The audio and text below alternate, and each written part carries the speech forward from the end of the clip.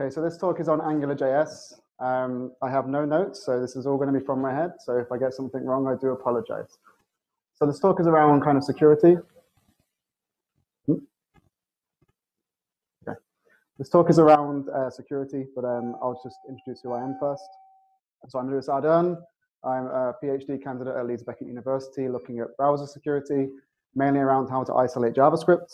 Um, I used to work at Cigital, but since being acquired uh, from Synopsys, I now work as a security consultant at Synopsys. If you want to follow me on Twitter, it's at Lewis Ardern.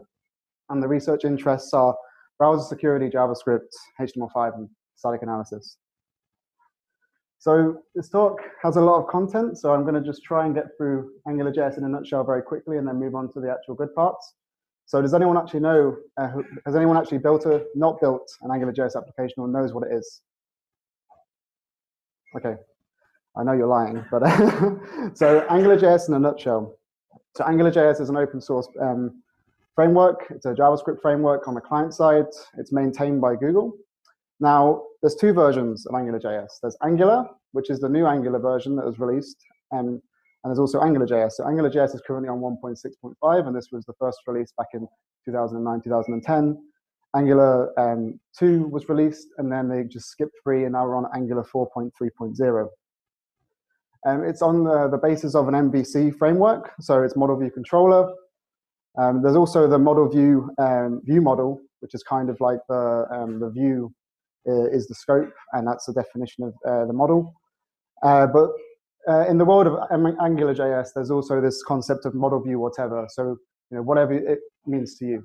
So there's also um, you know services, factories, and all these different wonderful things in AngularJS. Um, so it doesn't really matter if it's controlled or not. It was originally developed by Misko Hevery and then open sourced and maintained by Google. And the benefits for AngularJS is that it separates you know, HTML, CSS, and JavaScript logic.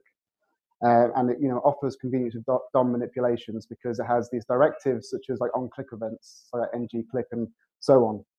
And it's also quite fast. You know, it's quite fast. It's a single page application. It's generally used for single page applications. So you get a fluid experience through like deep embedded links by you know clicking through it without actually seeing the page change in many different ways.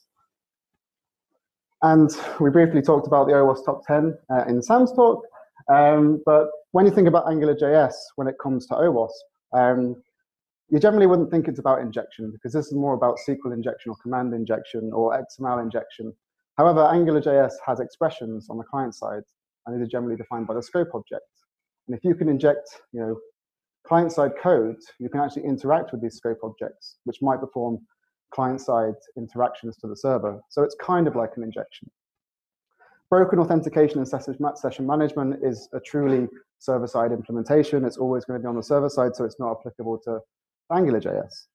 Cross-site scripting, of course, because you know that's what it is. It's JavaScript, and that's generally the ability to inject and you know manipulate JavaScript code.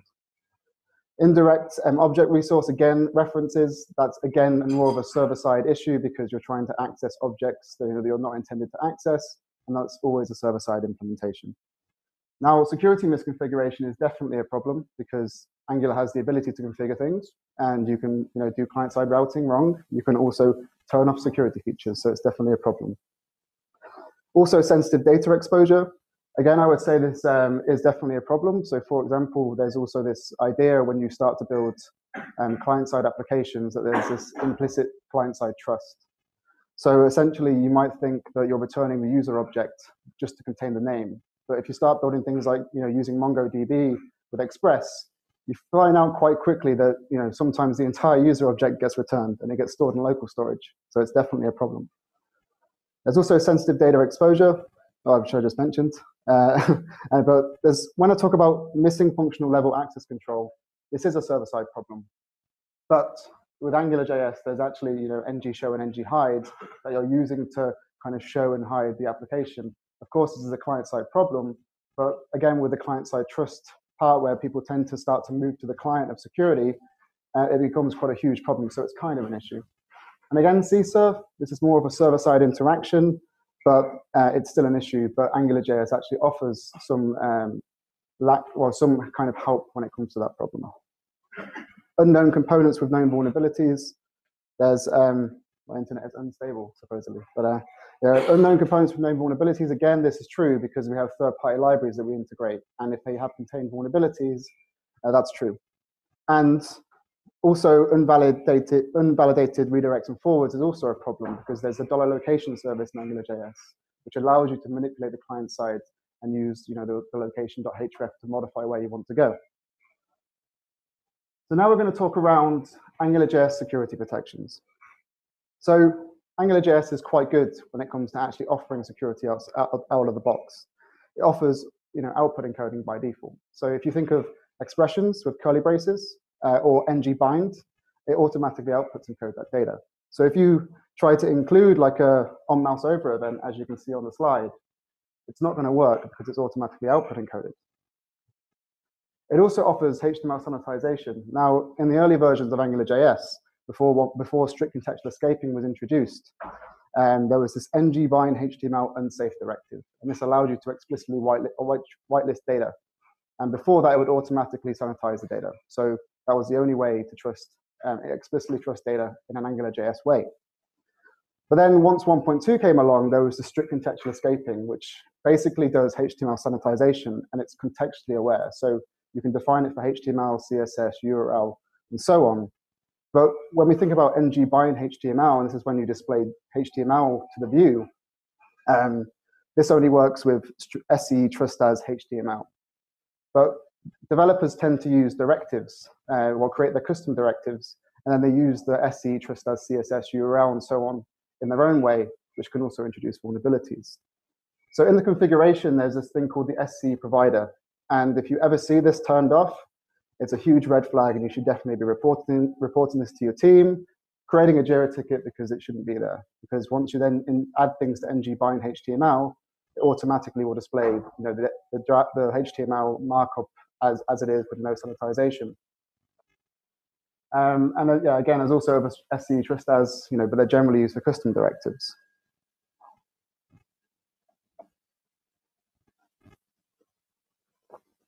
So when we think about AngularJS as well, there's also protections for um, the content security policy. Now the CSP is this server-side um, header, sorry, uh, it's HTTP header or response header that defines, you know, what resources are allowed to be loaded on your page. And an AngularJS by default harmonizes with CSP. It doesn't use um, eval, eval by default. It doesn't use inline scripts. Uh, when you use CSP, these are automatically blocked. But you know, CSP is configurable and so is AngularJS with CSP. So Angular, as we said before, separates HTML, CSS, and JavaScript, which means there's no inline scripts, which means it's actually fine by default. You know, you can use it out of the box. Shouldn't give you too much of a problem, but from what I've heard from a lot of developers, it's quite still a massive pain. There are a few caveats. So when AngularJS first wants to pass expressions, it calls a new function, which is you know, um, a dynamic execution of JavaScript, and this will be blocked.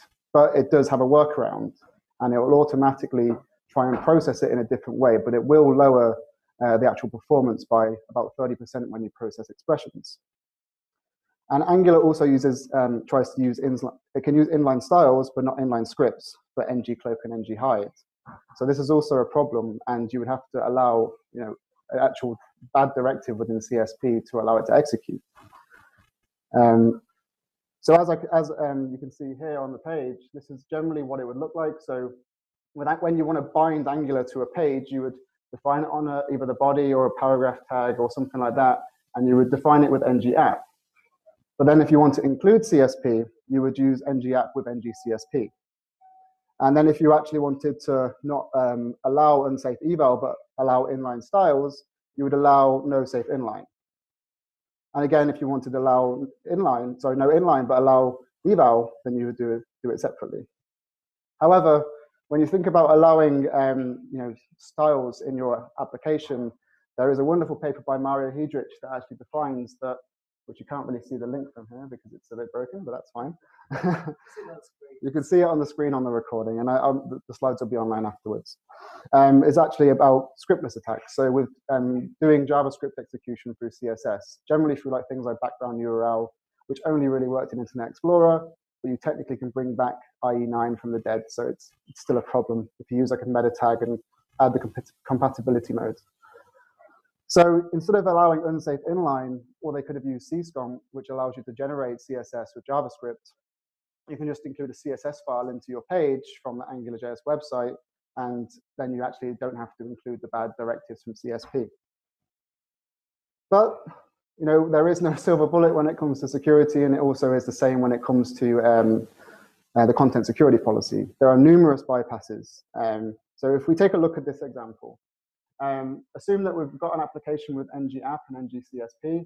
If someone is able to inject arbitrary HTML into the page, they then can actually um, abuse Angular's features to um, execute JavaScript. Now, I'm pretty sure there's easier ways if you can inject this much HTML onto the page to find cross-site scripting, uh, even with CSP. But um, it actually abuses the Angular features, if, especially if it uses like strict dynamic or explicitly whitelists uh, the CSP, uh, the CSP in, uh, in, the script source. And there's a wonderful um, uh, a wonderful example, like tons of bypasses by Sebastian Lekies, who works at Google, and it's a you know a ton of different things. It's not just for AngularJS; it's for Vanilla.js. Uh, it's also um, you know, browser-specific ones, along with things like Polymer and you know, Ember, for example. So there was also this thing called the Angular Sandbox, and it technically um, wasn't really a sandbox, but all versions, well, not all of them, after 1.x, can't remember the version off the top of my head, uh, there was a sandbox that essentially, the reason why AngularJS did, the AngularJS team did this was to move you away from the DOM because it's a complex mess. They wanted to you know, allow you to use your own directives and then build custom directives on top of that. So they just moved you away from the DOM, and you would generally be access accessing things through scope objects, which is how you represent things to the view. However, there was a team of researchers. The first sandbox bypass was found by uh, Mario Heiderich, uh, where you were able to essentially create two curly braces and add the constructor and add its function constructor, and you had full access to execute any arbitrary JavaScript that you wanted. But then they fixed it, and then they got a bit more complex. So what does it mean to escape the sandbox? It means to directly, you know, manipulate the document object model and, you know, just to execute plain arbitrary JavaScript. And the example here is you're creating like a constructor with a prototype. You're essentially overriding char uh, which AngularJS uses internally to process to see if things are bad or you know they shouldn't actually be there to do the type checking. Uh, and then it basically joined everything together. It used an Angular feature which is called $eval that I'll talk about later, and then you could execute the arbitrary JavaScript again. And there's a great um, blog by Gareth Heyes that um, essentially discusses all of this in very much detail. And as I said before, the, the, the, the true problem was it wasn't that the sandbox existed. It was about that developers were introducing vulnerabilities where you were able to inject arbitrary expressions into the page, which shouldn't have happened in the first place. So uh, Synopsys also have a great blog on this as well. It was written by David Johansson. It's a very good blog. I wrote like two things and I got credit for it. So anyway, there's also a wonderful playlist by LiveOverflow, um, and it goes through different kinds of. It first explains the AngularJS framework. It goes into detail about different kinds of sandbox escapes and how it all works with like debugging. It's a phenomenal resource if you do want to check out how this works under the hood. There's also cross-site request forgery protection. So it offers help. So if you think that you've just set up your server-side implementation and you want to make sure that it's being sent as a header because this does prevent a lot of CSRF attacks because they'll first have to exploit, the, you know, grab the CSRF token and append it into the header and it might be blocked in many ways. So Angular automatically appends it when it sees the XSRF token. Um, so what a developer would need to do is to securely generate this token, you know, on the server side, append it to the XSRF token uh, as a cookie. And of course, you can't include HTTP only. So if developers start to get this in the pen test reports. It's fine. Don't worry about it. You know, it's, it's, it is a, an issue, but it's not. So anyway. So um, then you want to verify, and Angular automatically converts this into the XS, XSRF token, and it matches the token with the cookie value. Uh, and then obviously if the server's happy with this, it will go, yeah, great, and perform the request, otherwise it will reject it.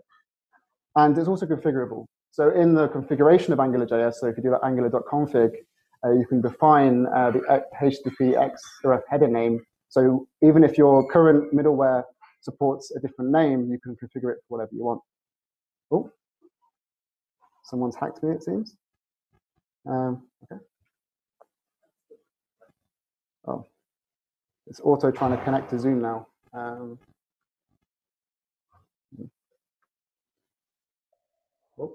Yeah, I think I might have lost connection. Someone may have. um,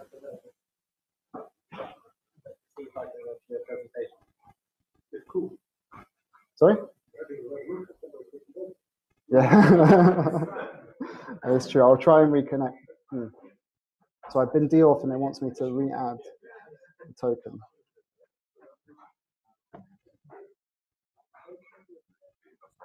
Yep, well, it, it wants me to reconnect and I don't trust any of you guys at the back. So uh, I will set up my own hotspot and we'll go from there. Um,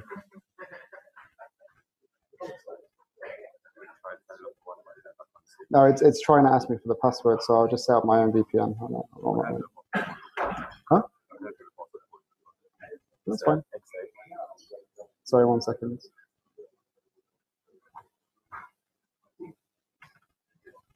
Okay. There's connect. So no, I'm connected to my phone now. It's fine. Um, but now I've lost. I have internet now, so that's good. Um, I'll try and reconnect to the thing during the meeting. Ah.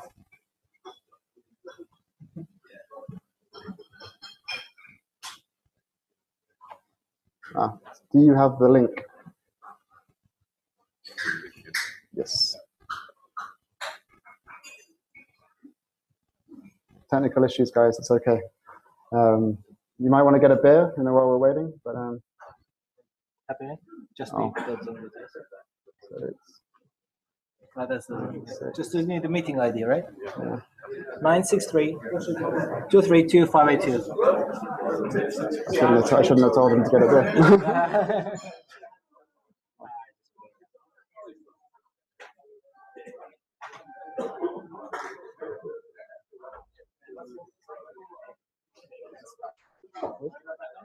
yeah, so you might need to give me. Um,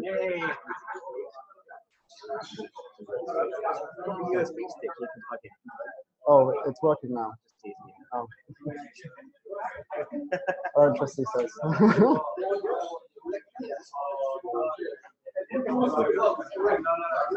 yes, that's me. yeah.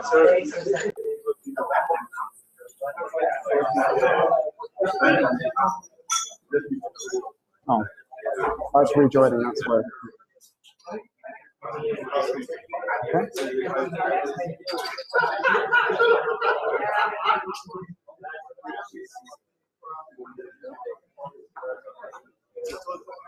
Okay. So, uh, guys, it's, it's back up. So uh, we might want to go back on with the presentation. no, it's fine. Uh, okay. Okay, so we're going to get back to it, guys. Okay. Okay, we're good to go. So if you want to sit back down, I know, well, you know, it's fine.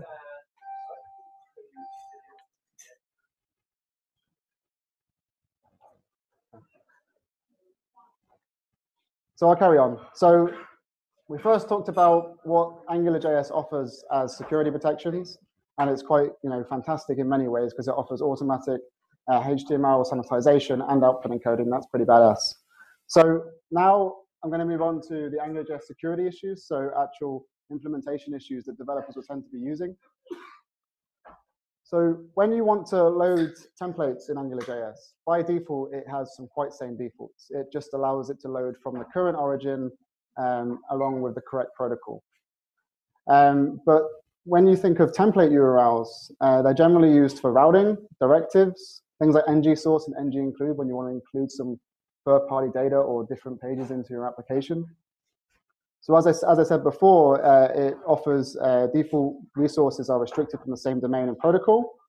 Um, but if you want to load um, third-party applications, you have to modify the configuration file. And this can be done insecurely. Uh, and you can do this by whitelisting or blacklisting URLs, depending on if you want to allow or deny certain either URLs, directories, and so on in your application.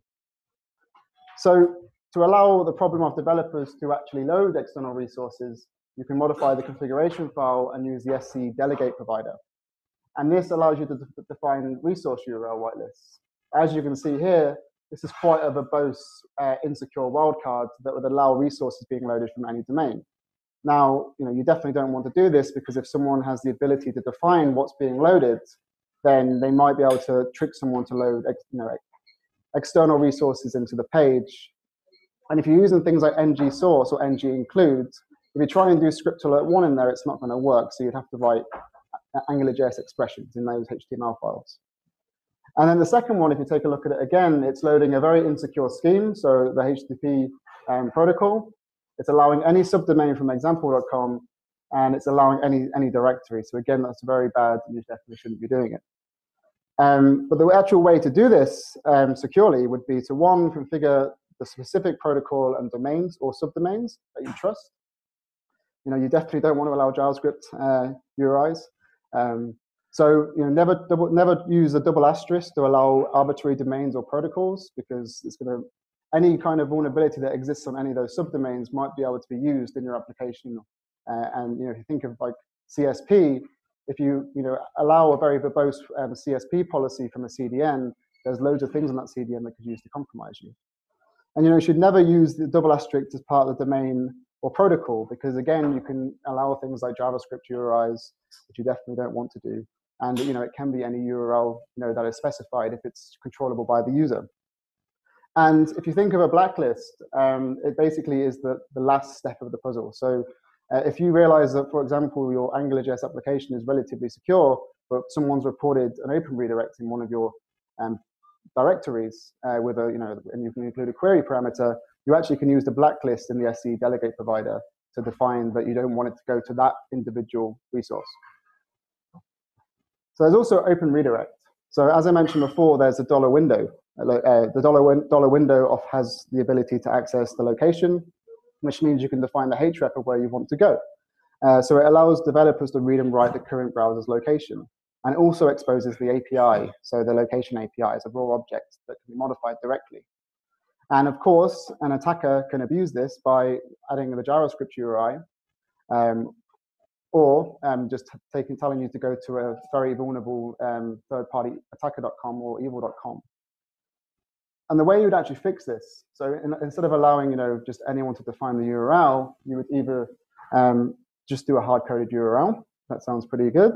Or you can add a whitelist of accepted URLs or my personal favorite, use indirect reference maps. So just define, you know, you want to go to welcome, you want to go to home, and that's all you can really do.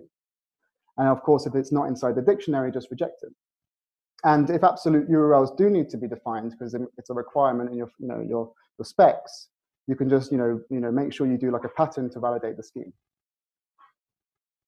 So I'm going to try and do a live demo, and hopefully I don't get kicked off again. And luckily with AngularJS, it's all local, so that's pretty fun. Um, okay. So um, if you take a look at the current application that I have, uh, you've got a go-to parameter that's including example.com. And if I try and log in as anyone, it's going to just return back. So think of it as a Node.js on the back end. All it's doing is sending the server, sending a response. And on a, on a returned response, it then goes away. So as you can see, we've got the open redirect. And of course, you can also do JavaScript URIs. So Oh, yeah, you got to log in. So test and test. And again, you've got your cross-site scripting. So the way to remediate this, and I'm going to try and show you some code. So like using an indirect map. So again, I define that I, you know, even though we used example.com as the uh, the example, you know, it's not a good representation. But you know, if I want to define welcome welcome.html and example.com, I can create a dictionary, and then I can basically do um, and I'll, I'll, show you first show you the code. So what it's doing is uh, it's going to the location service and it's searching for goto. And as you know, you saw here, that's what we're using as the parameter. And then you know, if there's no redirect URL, it just defines a welcome.html.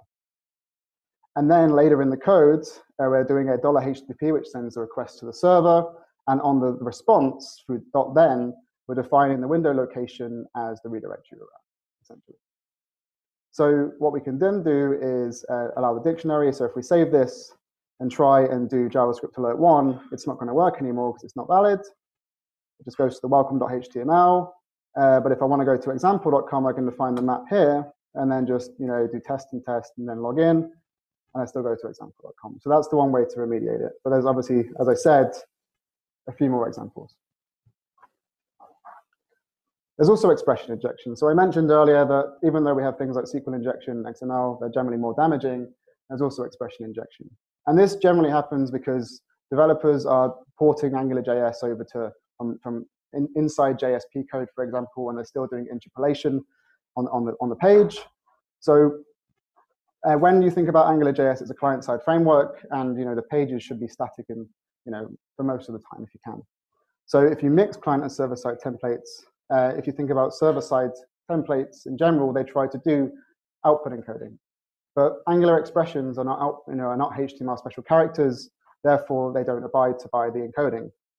So if you have the ability to inject user input into the page, um, it's only going to escape the greater than less, you know, greater than less than quote double quote. Um, so it won't it won't escape the Angular code. It will then be rendered into the you know the view engine, and Angular will process that. So where possible, avoid using client-side and server-side templates. Keep the, the application logic and server logic completely separate if you can. So I'm going to show you an example of what it would kind of look like from an attack perspective. And if you have Burp Suite, it automatically looks for this now, so you'll probably get a nice bounty if you find it. So um, think about what we're sending, you know, uh, curly brace, curly brace, uh, two plus one uh, into, you know, the, you know, the server's going to look at that and go, it's fine. The rendering engine's not going to encode it because it's not HTML special characters. And then it gets, you know, only HTML special characters are encoded, and then it gets added to the Angular page. It's going to get returned back and then processed by Angular later. And then it gets sent over, you know, as I said, like AngularJS expressions are written to the page. And I'm going to send it over to the templating engine, and Angular is going to go through and pass it all, go, yep, oh, there's an expression I need to process. And then it goes to the view, and then the is, you know, one plus two will convert into two, because that's what you know, expressions are done in AngularJS. So the way to remediate this uh, is to, where possible, you know, it's not always possible, is to rewrite Angular templates to be purely only AngularJS. And if you really need to, you know, get data displayed to the view, just assign it to a scope object and display it through ngbind, ngbind HTML, or through an expression but not you know as user input. Uh, you also then want to try and reduce the scope the scope of um, Angular. So if you do ng-app on your full HTML body, then that's entirely Angularfied. So if you can define it only for the parts you need, so including on a parameter or a divider, as we see in the example, then only that divider is Angularfied. So if you did have an expression going in it later and it was encoding everything, HTML special characters, it'd be fine. But if you realize you, you know, your team says we're not going to do this, you can just use the ng non-bindable directive. And what this tells Angular, it tells Angular not to process it as an Angular expression. And of course, if you can, you know, you can sanitize your untrusted input to remove curly braces or whatever you define in the configuration setting. Um, they generally tell you to use escaping on the Angular documentation, so that's also another way. And of course, um, if an attacker has the ability to inject HTML markup, everything that I just said is null and void. So uh, just keep that in mind. So I've got a video recorded because I don't trust myself doing this one. Um, so this is um, an application. It's not using a server-side template. It's using jQuery. It's using .text that is meant to be treating it as text, but we'll see the vulnerability soon. So I'm going to log in as Bob and obviously try the password as password. That That's a vulnerability that's showing the password. So I tried to log in as Bob and it failed. I'm going to try script alert one. And again, it's not going to work. It will just treat it as text. Now, if I do try and do one plus one, it's then going to treat it as an Angular expression and process that into two, as you can see here. So now we know that, um, we're using like the latest version, so 1.6, and there's no sandbox, so there's no sandbox, sandbox request, yeah, sandbox escape required. So we're just going to do constructor, call its function constructor, and then make an alert box pop up. So as you can see, success, success. Now, we're going to go away and remediate this using one of the things I spoke about earlier. So we're going to take a look at the code, and as you can see, it's bound with Angular, so it's Angularified on the body. We're using um, the parameter tag with the ID of message, and we're using jQuery to update that when we get the response from the server. So as you can see here, so if the parameter user exists, it goes, you know, if it failed to authenticate, then it's going to just return that back in jQuery um, .text. Now, the way to fix this is, of course, it's being assigned to the, the message ID, the parameter. So we're just going to include ng non-bindable for this. So now, you know, the, I think something that was vulnerable is no longer going to be vulnerable because we've defined it as um, Angular will no longer process this. So we tried the payload again. It's just going to treat it as text. So that's one way to do it. All right. Okay, so that's expression injection. And now we move on to the more fun things, which generally people don't think about, uh, is, you know, Angular expressions are, you know, snippets of code, and they can be executed through various methods of Angular. So you can evaluate, you know, expressions with AngularJS using dollar $eval, for example. You can order this data through um, expressions as well. So if you want to order a list, you can do that through Angular. And AngularJS can also parse expressions, and I'll go more into that soon. So we have something called the scope, and as I mentioned before, this is how you define data to the view. So on scope methods, you have you know eval, and in Douglas Crockford's uh, you know, JavaScript, the good parts, he mentions how eval is evil, and it's no different in AngularJS. So if you can include arbitrary user input into the expression, uh, as, as, as, defined in red, you have full access uh, to uh, execute arbitrary JavaScript, even if there was in this you know 1.5.9, which is technically meant to be the most secure because the sandbox is ridiculous. It was actually pretty secure, but someone, I think it was Mathias Karlsson who broke it, but that might be wrong. Uh, then, of course, there's dollar $apply, which basically is used to define. Um, so if it's outside the Angular scope, you normally use apply to bring it back to a full cycle. And of course, you know you want to watch collections for when things change. There's also order by. So this is how you order things within um, inside Angular. So you can either do it by just defining a pipe onside the actual expression itself, or you can use the dollar filter with order by, or you can actually just define it inside the function itself.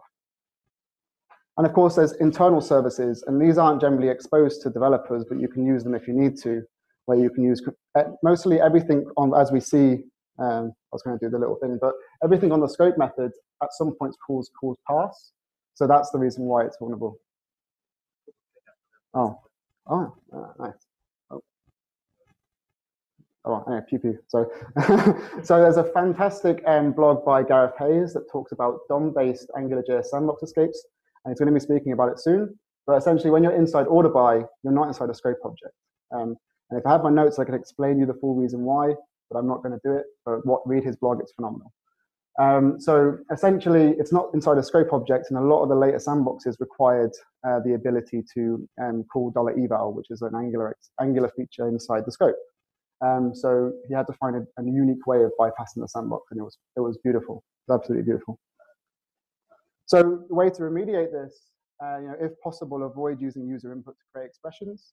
And if user input does need to be used in expressions, only treat it as data rather than the code itself. So as you can see in this example, we're calling scope dollar $eval async, and we're saying dollar dot $result equals to hello, which is a string, along with scope dot user input with another string. So that's then treated as data rather than code, and it won't execute the expression as, as such. And then, of course, if you um, need to evaluate it as part of expression codes, you must do strict input validation. So, you know, you would call something like, you know, uh, make sure the, uh, the scope friends is not undefined, and then you would call the own property and just check to see uh, if it exists inside um, you know, your, your defined list. So I'm going to show you another example. Um, which uh, is the vulnerable first. So what we're doing here is that we're calling the, an order by filter, and essentially we're defining from user data. So when this user data comes in, um, it then basically calls a, um, yeah, as you can see in the ng repeat here, we've got friends and friends, and it's taking it from the user data. So now if we go to the example, um, I've already populated this. So well, there's one thing to note. So Burp Suite, for example, will find client-side, server-side template injection, but it won't find this because I'm not using curly braces. All I'm doing, I'm already inside a scope object, so it's all on the client. And you know, so if I populate it with constructor.constructor an alert, and then uh, short the table, and it's going to pop up a few times. So it's going through the list one by one by one by one. So, so it's definitely one way to do it. Now, if we take a look at the actual fix, of course, all I'm doing here um, is where is that? So I'm basically just grabbing, you know, is it of age, phone number, or name, and then doing an index of making sure it's there, and then it will assign it to the user data. Oh, that's broken that. So if I now go to the secure example and try and do the exact same payload and sort the table, it's not going to work because it's not inside the list. Okay. So I know I might be going over time, but there's also Angular element. So Angular element is a subset of jQuery, and um, it allows you to still access some of jQuery's features. So if user input is indirectly added to, you know, after append and so on, you can execute arbitrary JavaScript. So as a developer, you really need to validate the input before sending it to any of these functions, and you can do it with internal Angular features through SC trust, get trusted HTML or dollar sanitize. Oh, that did not go the way I wanted it to. Uh, okay.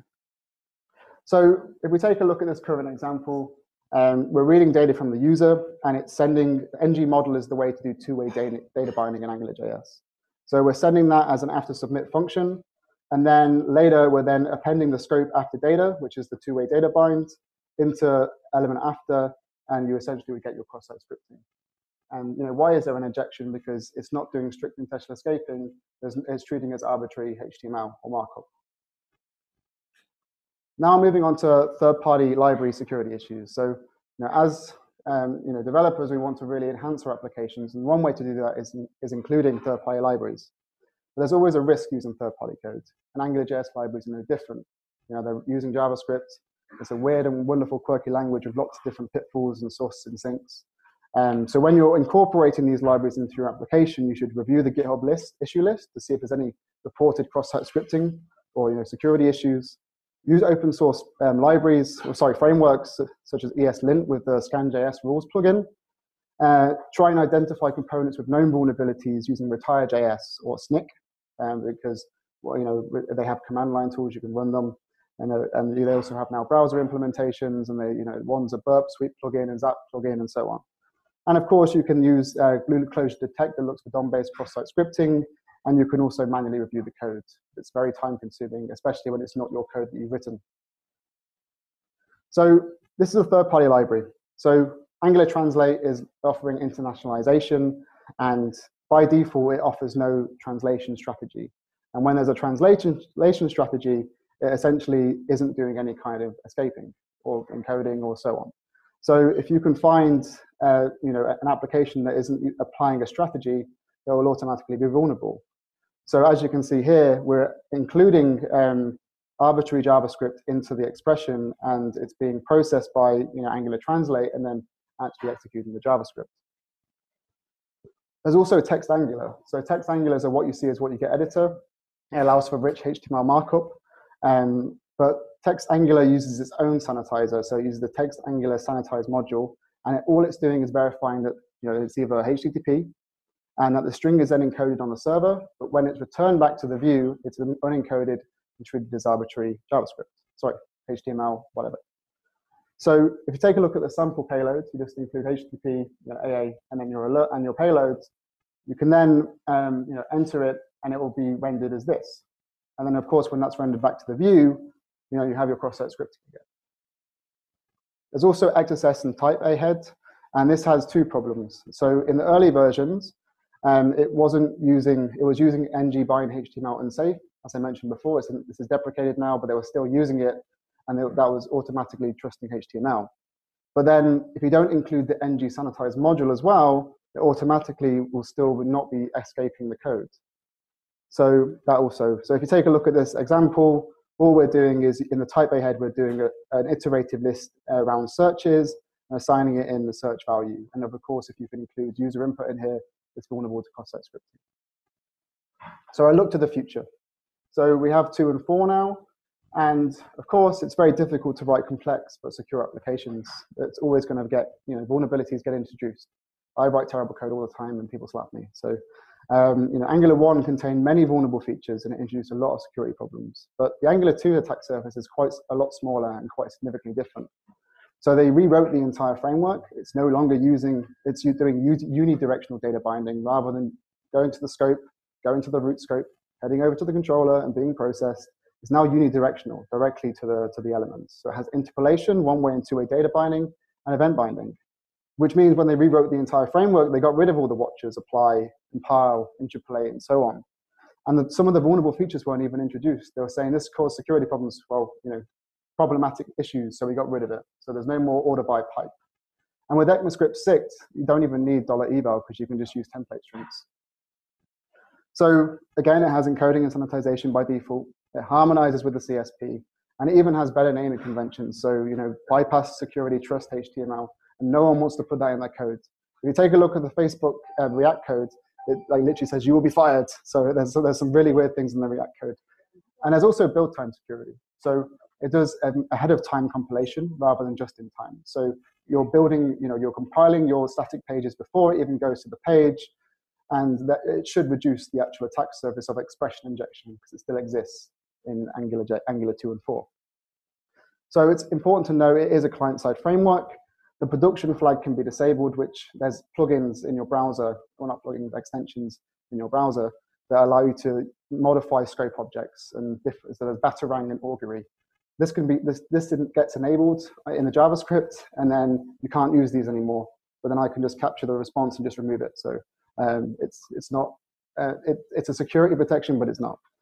Uh, client elements can be modified. So if you have ng show and ng hide or route guards, which are Boolean, you can just you know satisfy their needs, and then you can get access to potential things that you shouldn't be able to see.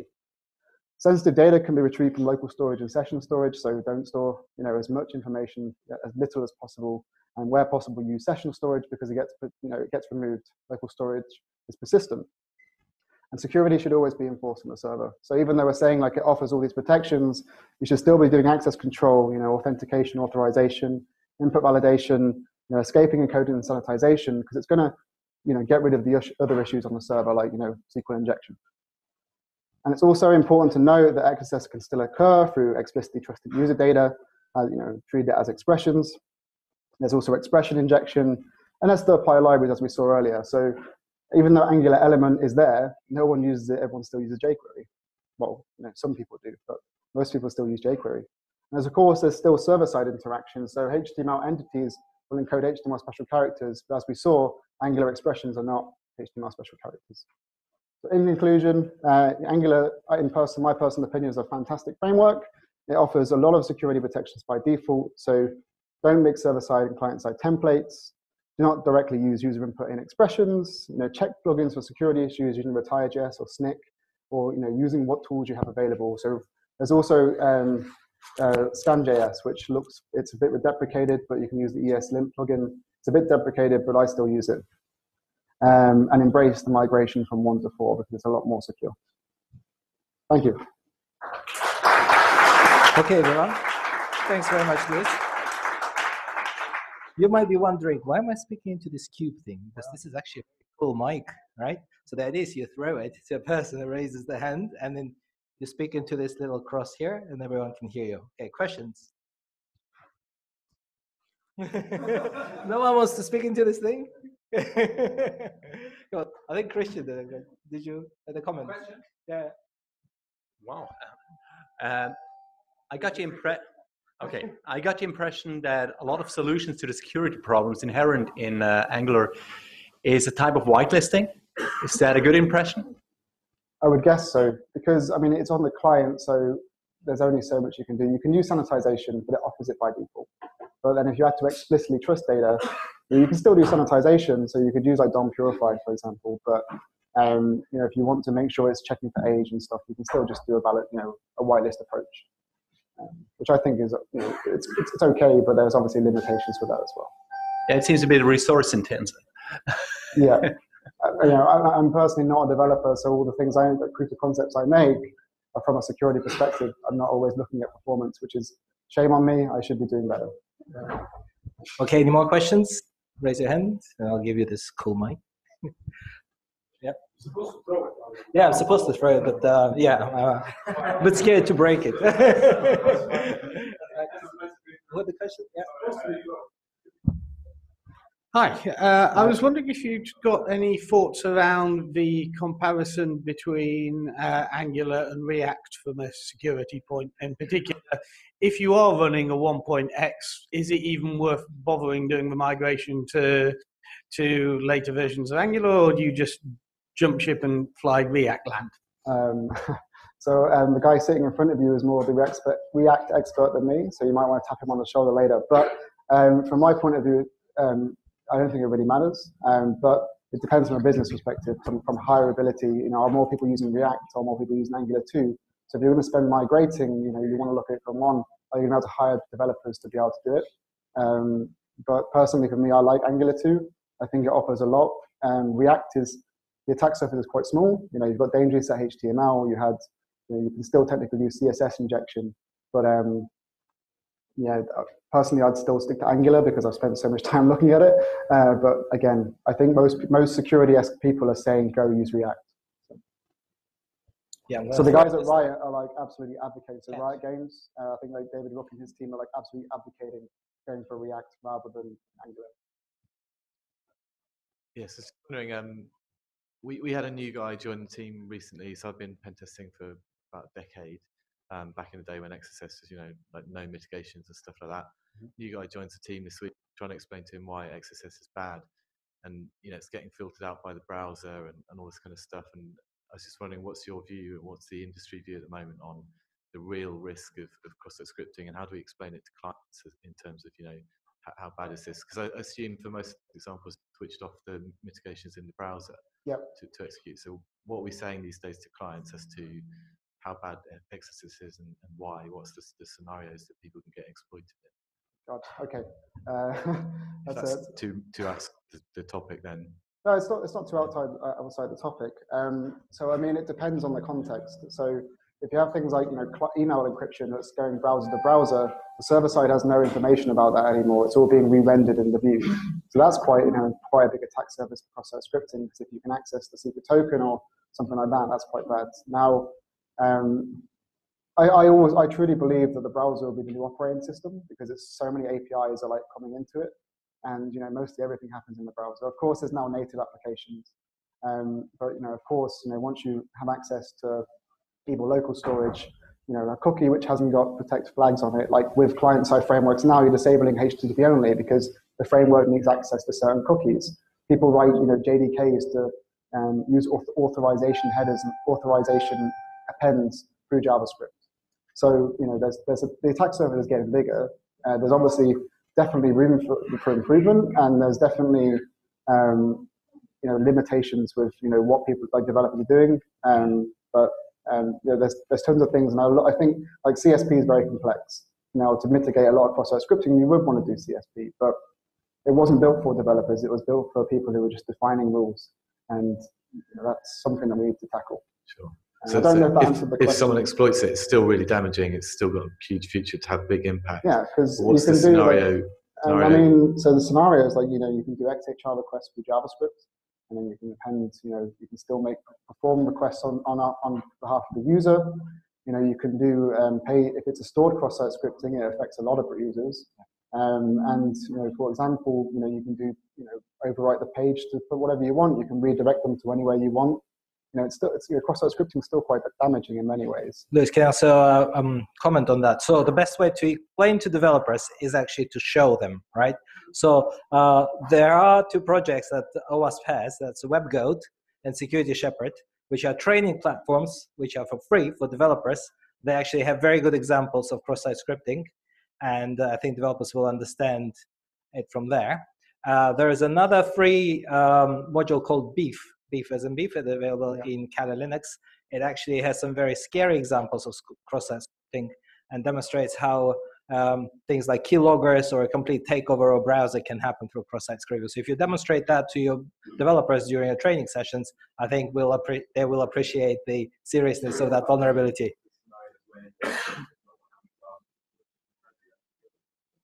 Yeah, yeah. So obviously this is all will be available. We'll explain to them. So obviously the key is training, and we do have some free training platforms to explore. Right. I have another question here.